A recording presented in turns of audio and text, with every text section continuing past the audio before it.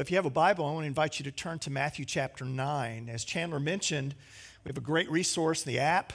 Uh, the points of the sermon will be on the app. I encourage you to open your Bibles, to open up your, your Bible on your phone, and you can follow along with us. We're in a sermon series called One Small Step. This is our annual month of missions.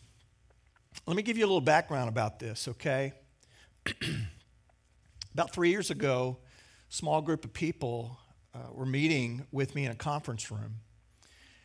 And I became very convicted a few weeks before that about um, how I had led the church, to be honest with you. Um, feeling of some failure from the standpoint of being uh, the pastor and really not pointing our people to what is most important because we fell into a, a, trap that many churches fall into, and that is as we think about missions, we think about witnessing to the world, we think about outreach. Sadly, we had kind of come into this traditional mindset of, hey, we send missionaries to go and do that kind of stuff. And I came under the conviction that we were not serving our church well by having that kind of mindset. And so, as we began to talk there with that small group of people, we began to build an inspirational vision around steering the ship of the church a different direction culturally. And that was really began seriously two and a half years ago. As we began to say that we are going to point believers in our church to be on mission that there is this great adventure that God has for every believer to be involved in the redemptive drama that God is working in this world. He is saving people, He is leading people to Christ, and every believer has this great privilege and joy to be a part of that adventure. And yet, sadly, Christians live their entire Christian lives never being used by God in this way, never getting outside of the comfort zone to the degree that they would be used so that they might be a witness to somebody else about the love of Christ. And we said, we're going to change from this point on, we're going to change and we're going to challenge our people to live on mission. We stop talking about missions per se. Instead, we talk about being on mission, that we are joining God in the great mission of sharing the gospel with the world. And so every year we highlight that. We spend a whole month talking about that teaching and inspiring and painting vision of what that means for each and every individual that we want this for you we want you to experience that. We want you to experience the joy of being used by God so that somebody who is far from Christ can come to saving faith, and you would be the instrument by which that would happen. And so that's our dream, that's our goal, and that's why we're doing this, this whole thing this month. So last week, I talked about the first step. The first step to reaching those who are far from Christ is to pray that God would use us to do that and so that, that we could be used by God in some supernatural way and that we would simply pray and make ourselves available to God. What we're going to do tonight is we're going to talk about a small step also, and that is that we would actually do something from our prayers. Last week, I remember talking to you about hey, we might be the answer to our prayers by actually doing something, not just praying for people, but being used to. Uh, to witness to them and share with them and show God's love. Well, tonight I want to talk about what are some examples of that one small thing that we can actually do, one small act. So I'm talking about our actions. Okay, as believers, what are our actions that will show and reveal the love of God to other people? And let me start by talking about, in general, uh, kind of the nature of our behaviors and our actions in the first place, because this will tie in directly to what we see in the life and ministry of Jesus. Our actions, you know this to be true, our actions expose what's really important to us in our lives, don't they? Our actions reveal what our priorities are. I mean, that's just the truth. In the end, we only really do what we want to do. Now, I know we like to play the victim. I know we like to say, well, I have to do certain things that I don't really want to do, but the truth is, in the long term, nobody can pressure you without giving without you giving them permission to do so. Nobody can make you do something, even in your world. I mean, ultimately, we have choices, and our actions reveal what our choices are. People will say, Well, I don't have the time to do that. Well, that's not, that's not an accurate statement. You do have the time. You have as much time as anybody else does. You're choosing not to take the time to do. See what I'm saying? So actions reveal our priorities. Next, actions reflect our attitudes. Jesus made this connection between what is going on in our heart and our motivations between what we do. So Jesus said, From the overflow of the heart, the mouth speaks. Jesus said, You will know the tree by its fruit. So we can understand our own motivations by the things that we do. There's this connection between the inside and the outside. Our face, our body, our actions reveals what motivates us in the end. That's why to change someone's behavior, counselors have to focus on what is on the inside. What are the motivations that are going on? And that results in change behavior. The other thing that's true about actions is that in time, actions not only reflect attitudes, but actions can develop attitudes. Actions have the potential to build desire within us. By doing the right thing, we begin to feel the right way. You see, the power of actions. Discipline builds desire. I didn't feel like getting up this morning, but I got up. and as I got up and did the right action, I began to feel right about that action. People have said, you know, it's much easier to act your way into a feeling than to feel your way into an action. I think that's true. If we run around to feel the right way, then we'll never act.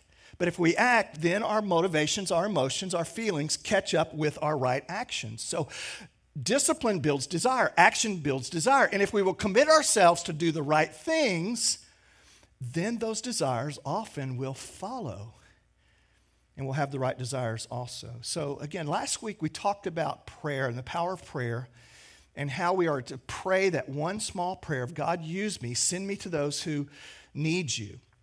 This week, we're going to talk about actually, again, doing something. So, as we look at Matthew chapter 9, we're going to see a summary statement by the gospel writer Matthew about the life and ministry of Jesus. As I mentioned to you last week, it's like Matthew takes kind of a pause and he gives this parenthetical statement about the summary of Jesus' life and ministry. And here's what it says. We're looking in verses, excuse me, let me go back here.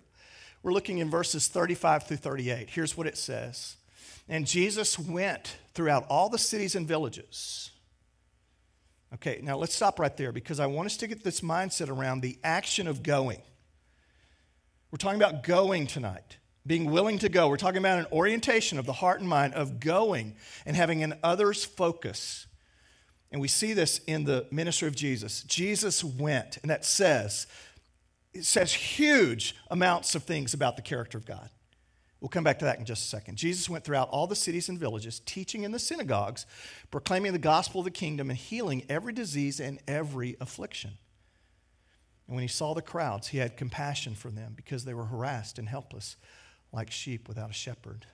And here's the verse that we looked at last week. Then he said to his disciples, The harvest is plentiful, but the laborers are few. Therefore, pray earnestly to the Lord of the harvest to send out laborers into his harvest field. Going to those who need Christ. It's an action of our lives, it's an orientation of our lives that ultimately will build a motivation to be used by God. So, as we look at the life and ministry of Jesus, what we're going to see are three things I think that are really important for us to assimilate into our own lives. When we see Jesus going, the fact that it says here in verse 35, Jesus went, that reveals, first of all, a divine priority. We see a divine priority we see that it was deep in the heart of God to be willing to send his son to us. Again, God having this others orientation, this others mindset. And it's found not only in the heart of God, but it's exclaimed by him to us as he was, we are to be. As Jesus went, we are to go. Remember the Great Commission, Matthew 28. Jesus some of his final words on this earth to the disciples. Therefore, go and make disciples of all nations. Go is the idea. Boldly go. Unashamedly go. In Acts chapter 1, verse 8, Jesus would say, right before the ascension, he would say, You shall be my witnesses in both Jerusalem, Judea, Samaria, and to the uttermost parts of the world. There is a go orientation in the heart of God, and He commands each of us. It goes to the heart of who He is, the motivation of God. Think about this. Think about this others orientation, the God to man orientation. Theologically, this is so important. We see it in creation. This world was created for you and I to enjoy and to steward. This whole creation was a part of God's desire for you and me. The self sufficient, all powerful God created this world and created us so that we might relate to Him and know Him. Isn't it amazing that God, who is autonomous and self sufficient, would actually extend Himself to human beings in this way? It's true in the giving of the Bible, the God to man orientation. God provided this record of His works in human history for you and me, toward us, for us. It was true in the incarnation of Christ, Jesus being sent to this world to be born as a human being. It reveals the heart of God, a God to man orientation, Him coming to us to speak to us on our terms, on our turf, as a human being. The death on the cross was God to man, Jesus laying down his life for us. The resurrection of Christ, that we might not just be forgiven of our sins, but as Christ was raised from the dead, that we might live in the new life of power and victory over sin and death. That was for us. The Holy Spirit being granted and bestowed to you and me. That God 24 7 lives within believers and He desires that. He dwells within us. You, you see, deep in the heart of God is this orientation again of going to us, for us, for our sake. And God expects that of His church, and He expects it of you and me. We were never blessed to only enjoy the blessings for ourselves. We were blessed to be a blessing to others. You know what happens to churches that forget the mission and the priority of God to share the gospel? They die. They become social clubs and holy huddles. There's no new life breathed into that. There's a lack of power. Think about a football team that practices and practices but never plays in a game. never shows up to play on the field. Some of you are thinking about your favorite sports team right now. I'm not talking about the Texans, by the way. okay? Uh, they study the playbook, they have great pep rallies, but they never go out and play. Well, eventually, those teams die. Those teams turn on each other. those teams get discontent with each other, and that's what happens to the church that forgets. So, God has this in His desire for us to be what He is as well. Spiritually lost people matter to God. This is the whole point. Spiritually lost people matter to God, they should matter to us. And Lord, help us to never forget that. So there's a divine priority. Secondly, that divine priority, according to Matthew 9 35 through 38, is based in a loving motivation. Look here at verse 36. This is so good and so powerful. If you read between the, the words here, you're going to see the heart of God. When he saw the crowds, Jesus had this amazing ability to see individuals in the midst of crowds. I've known preachers who like crowds but not people all that much. big difference. To Jesus, people were the big thing individuals, when he saw the crowds, look at what it says. He had compassion for them because he saw them as harassed and helpless like sheep without a shepherd. Look at this progression. Jesus went. As Jesus went, he saw. That's the proper order. Remember, the proper action leads to the right results. I may not feel like going, but I know I'm to go. I'm commanded to go, so I go, which means I get myself up next to people who are far from God, who need the love of Christ. I prefer to be in my holy huddle. I prefer to isolate and insulate myself from those sinners out there. But God has called me to be a difference maker in this world, to be a world changer. And so I get up next to them, hoping that my desire will follow. And as I go, then what happens? I begin to see them as God sees them. I see them with the eyes of Christ. He went, he saw, and what resulted? He had compassion for them. He loved. his desires, his emotions, his feelings caught up with his, with his actions. So, seeing people, noticing them, seeing them with the eyes of God is the first part of all this, and it reveals a loving motivation in the heart of God for you and me. So, what does frustration and impatience and insensitivity for others and with others say? Well, it says very little about them and a lot about us. Uh, this is a safe place for me. You know, I've admitted to you, I've confessed my sins to the Brook Church about how poorly I do in traffic and I don't know why. And you know how, and I, I teach at a Bible college on the other side of town, so I have to drive once or twice a week to the Southwest Freeway, 59, and the other side of town, the 610, all that area over there. And it's like God has me there for the reason of working on my heart. There's no doubt about that. Nothing works on my sanctification more than being in bad traffic. And if you people who are slow would just get out of the left lane, I'd be okay.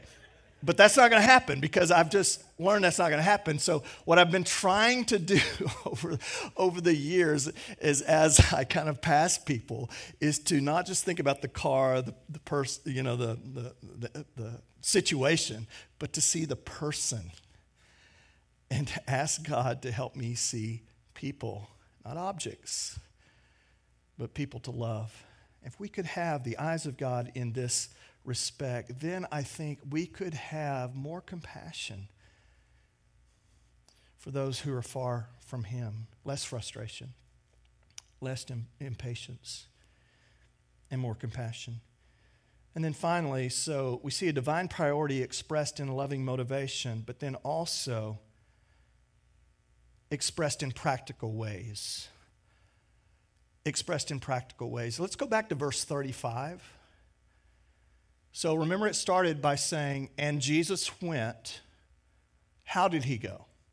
He went through all the towns and villages doing what? Teaching in their synagogues and proclaiming the gospel of the kingdom. Okay, then we can summarize that say Jesus was all about the message of the gospel. He was teaching, he was preaching the message of the gospel, but that wasn't the only thing he did. And healing every disease and every sickness every affliction. And we know that Jesus met practical needs. He fed people, he healed people, he cared for people, he loved them.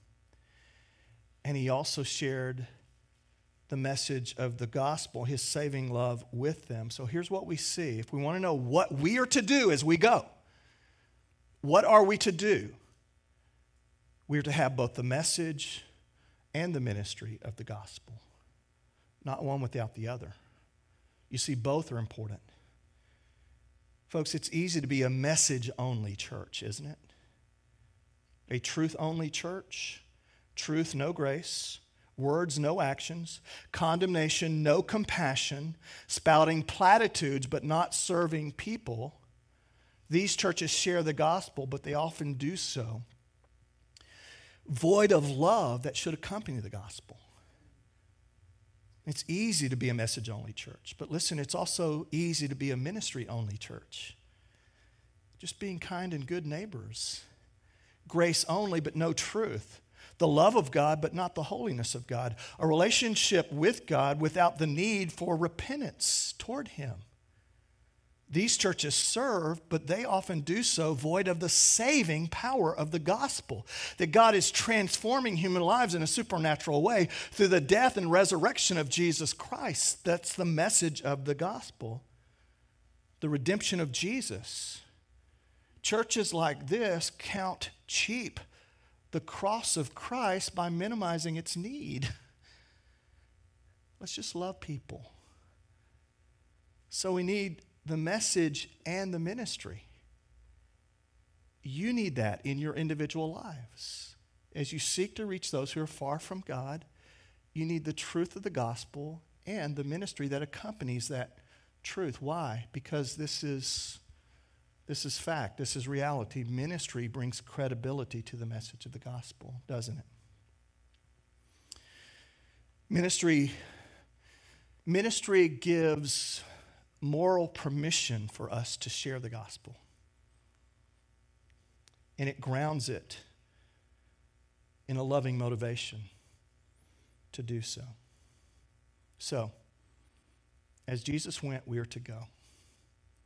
We're talking about one small act, our actions, our behaviors. Last week was prayer. What, are one, what is one small act that we can do? This week on Facebook, I asked all my friends on Facebook to share ideas of what they have done in ministering to other people. I got such a great response from people, and people wrote back and said, These are some of the ways that we've shown love to other people in our neighborhood, our workplaces, those kind of things. Well, first of all, just notice them, show interest, and talk with people. I think that's kind of a basic, right? we should be okay with that. Uh, bring meals to welcome people into the neighborhood, cookies, assist them with a project, assist them with moving in. Go to the hospital to visit someone, attend a funeral, being present with them in the time of crisis. Write notes, notes of affirmation. Congratulate them for celebrations. They have a kid that graduates from high school or for college, a wedding, a birth, that kind of thing. Celebrate with them, but also weep with them when they weep. Pray for them and let them know that you've prayed for them. And then pray with them. One person said this she said, I found out that our neighbor's son was leaving for boot camp over the weekend, and I know that they are very close knit family. So on Monday, the week before, I dropped off some flowers and chocolate covered pretzels and let them know that we we're praying for their son. One small act. Somebody else said this We've posted sticky notes left an encouraging sticky note or message scripture for a friend, a family member, coworker, stranger, at work, on a car, in a doctor's office. So simple, but God knows who needs to get it. An extra tip for the waiter. Ask for a waiter the clerk's manager, and then tell the manager what an awesome job their employee is doing in front of the employee. I think these are great ideas. When we say prayer before the meal, ask the waiter how we can pray for them pay for the person behind us in the drive through. You guys have maybe been a part of that. Seek to meet a material need. And then we have some friends from South Africa. Some of you remember Lodi and Rihanna Wedgemode. Uh, they were here in our church for a few years and they moved back to South Africa. Well, Lodi responded to me. She said, With the poor state of service delivery in South Africa, people often take their frustration out on the garbage men. I've started opening my window when they're on our street and just waving and thanking them for what they do while I drive past. Their response is amazing. Now they honk and hoot at me when I drive past and have even picked up my garbage only and left the rest of the street. she said, uh, The word tells us that we are all equals in the eyes of God, and taking out our frustrations on people that are merely part of a broken system is not godly. Isn't that true? Sometimes we're frustrated with people, but they're a part of a broken system and they can't help it. They're doing the best they can. Such a small thing, she says, but it seems to make such a big difference. The truth is, folks, we just need more old fashioned kindness in our world. And it begins with going up next to people who need the love of Christ, seeing them, and then doing as Jesus did, sharing the message of love along with deeds of love. I'm going to show you a video now that illustrates this very thing an act of kindness by a young man. And I think, particularly when it's not logical or easy to do, we need to show kindness. And I think this video illustrates that. Vince Lombardi famously said, Winning isn't everything, it's the only thing. He never met Merrick Bush, but Steve Hartman did on the road. Get a piece of him, get a piece of him. As a state champion wrestler, Merrick Bush has very few real competitors. But the sophomore from Central Valley Academy near Utica, New York does have at least one rival a junior from Indian River named Logan Patterson. Merrick met him on the mat earlier this month. I practiced hard that entire week, and I wanted to beat him. Terry Kavanaugh was the referee. I've been in sports a long time, and I've never seen anything like it. As expected, it was a great match. Until, with just about 30 seconds left, Logan twisted his elbow. Up to that point, Merrick had been losing. But Logan's arm was now so badly injured, there was almost no way Merrick couldn't win. So he told his coach, I got this, and went back in to do what he says he had to do. That's Merrick in the blue. Again, all he had to do was stand up and pin his hobbled opponent. But instead, Merrick did nothing. He just told Logan he was sorry about his arm and surrendered. Logan couldn't believe it. He just sat there. He didn't move. I think it was goodness out of his heart. He's a great person. I know it makes me look kind of like a weakling, but No, it's all right. no, it doesn't. No, he's no weakling at all. I mean, state championships come and go, but that, you, you can't take that away from a kid. The crowd watched on their feet and through blurry eyes as Merrick lost the tournament but won the admiration of everyone in the gym. Most especially Proud? Yeah, his dad, Yep, Bob. I'm very proud. It's not about winning all the time, it's about doing what's right. And he did. More importantly, Merrick thought doing the right thing would make him look like a weakling. But he did it anyway. Now that's a powerful kid. Steve Hartman, on the road, near Utica, New York. doing acts of kindness, doing goodness for others, often takes place at our own expense. Now, we'd like for that not to be true. but giving really isn't giving if it doesn't cost us something, right? And giving and serving and loving is the heart of Jesus. We're never more like Jesus than when we give when we serve, when we love. So, my challenge to you this week, to us, is to commit ourselves this week. I'm not talking about in the future, I'm talking about this week to one small act of goodness and kindness that will show the love of Christ. Here's what I want you to pray to say to the Father, I will act to show the love of Christ to someone who needs you.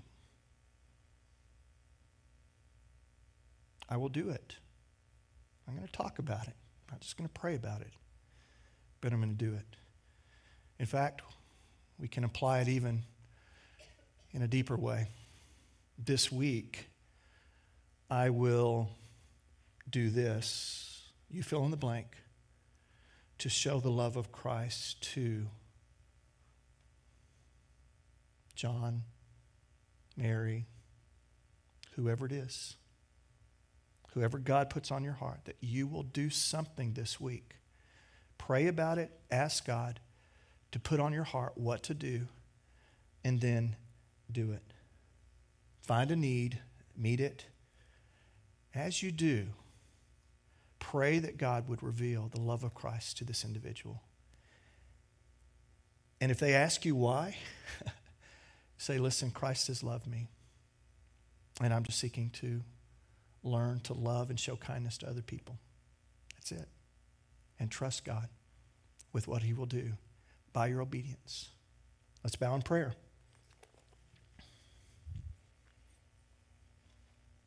With your heads bowed and your eyes closed,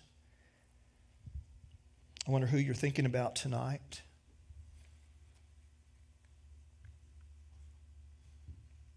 Who is it that, um, that God has placed on your heart?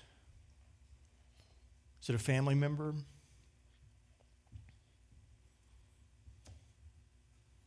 Is it the clerk in the grocery store, the dry cleaner, somebody at the gym,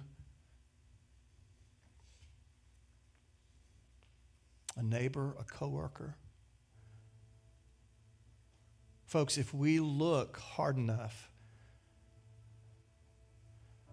there is someone around us who is in need of the love of Jesus. Again, many of you are here tonight because someone loved you in this way. Someone reached out to you in this way. Someone showed kindness to you.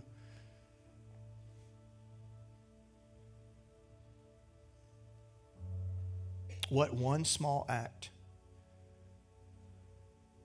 will you do in the name of Jesus? So, Father, help us to be doers of your word, not just hearers. The world is full of Christians who are hearers only. And because of that, we've lost credibility. Make us doers of your word. Give us the courage and the boldness to go unashamedly.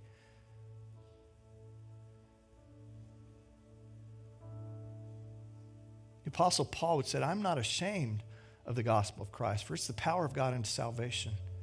It's good news. And one small act can make a difference when it's done in your name. So give us the courage, the faith to follow through. And we will trust you for what you're going to do with it and give you all the glory for it. In Jesus' name we pray. Amen.